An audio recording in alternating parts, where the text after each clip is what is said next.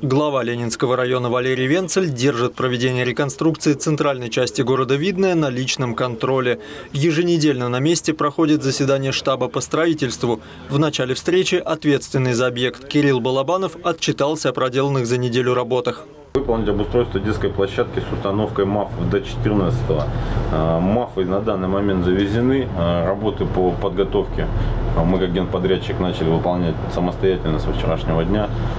14 будет Хорошо. готово. Одним из важных вопросов стала готовность пешеходной зоны к 14 сентября, когда будет отмечаться 90-летие Ленинского района. Мы просто чуть потихонечку должны э, периметр стройки сдвигать. Да. То есть мы и сделали, и чтобы, чтобы это было нормально, по-человечески. День города, день района, миграция большая. Наша задача, чтобы много людей из этой части города перешли на стадион «Металлург», поэтому нам нужны все тротуарные зоны. Строители пообещали, что к празднику все тротуары будут готовы. После совещания глава вместе с представителями штаба оценил ход проведения работ. Они осмотрели, в каком состоянии находится Тимоховский пруд, который в настоящее время осушили для очистки. Также обратили внимание на то, каким способом будет засеян газон на склонах. Про гидропосев говорили, да, это будет хорошее решение сделать посев таким способом.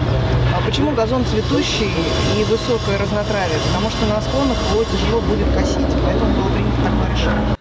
Глава посетил мемориальную зону Аллеи Славы, проинспектировал будущий фонтан возле детской площадки и отдельно остановился в точке, где будут сосредоточены спортивные объекты. Так называемая полусфера – один из элементов будущего скейт-парка, не имеет аналогов в России. Компания, занимающаяся строительством, берет на себя его дальнейшую эксплуатацию.